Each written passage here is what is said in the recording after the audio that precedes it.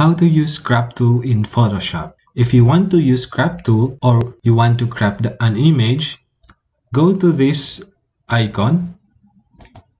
If you hover over it, it will give you a, a short uh, overview of the tool.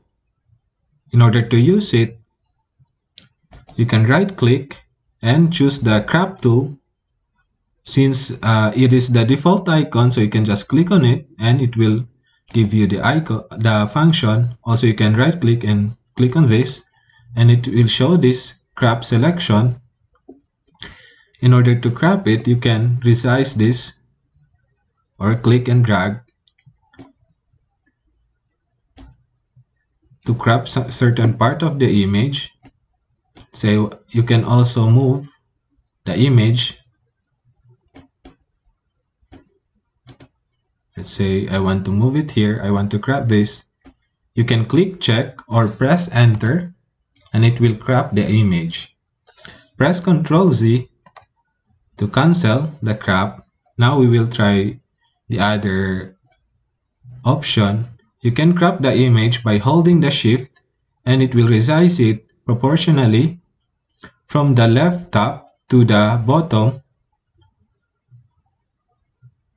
also if you want if you hold shift and crop it from here it will do the same but in the other opposite way. And also you can do it this way. You can press alt to crop it this way. Press alt also like this.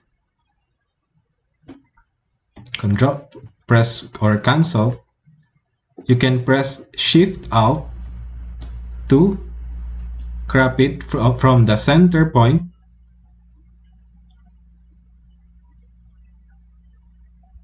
So you want to crop like this and click check or press enter. So that's how you can crop from the center. Let's say you want to crop also let's say we want to center this corner you can straighten this by by clicking on straight straighten click the straighten then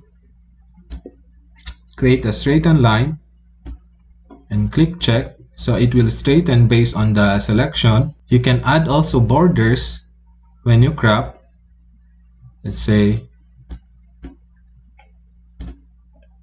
you crop the image and you can pre press shift alt to add a border. Since the red background is activated, we are going to change the background color and click on this to make it default so it will be white. And click from here and down and create a border and say also is press alt to So you have this uh, background background of white or border of white. Once you crop your image also, you can press ESC to cancel the crop. Or if you want to crop and, and you want to revert it to classic mode, you can press P and move the image or move the selection in, in another other way in, or reposition it and press P again to revert it back. And you can move it like that the selection.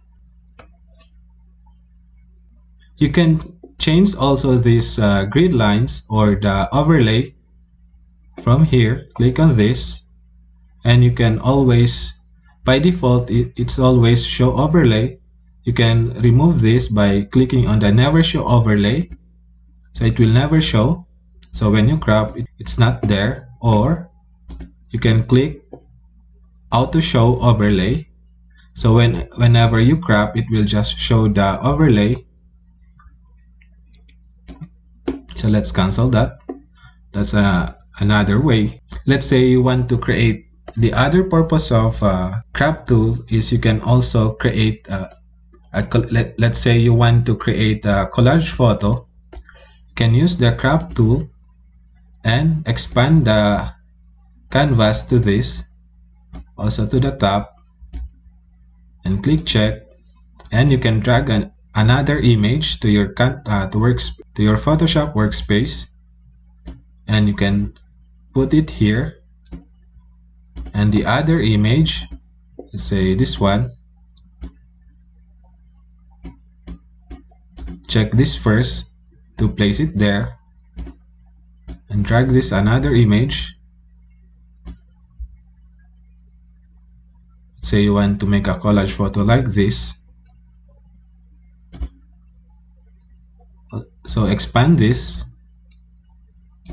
to create more space. Let's say you want to create a collage photo like this. And click check. That's another trick for crop tool you can play around with this uh, crop tool.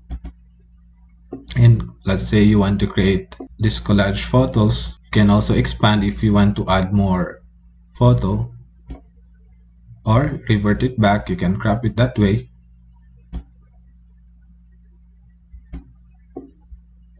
You can also click on the crop tool and create say crop tool.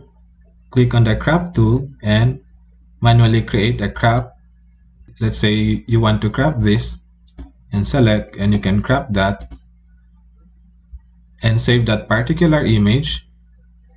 If you if you want to crop that way press ctrl z to revert it back. So that's how you use crop tool in photoshop cc also it will work also in uh, older version of photoshop like photoshop cs6 and all in other older version. So i hope this video tutorial helps you. Don't forget to like and subscribe. Thank you for watching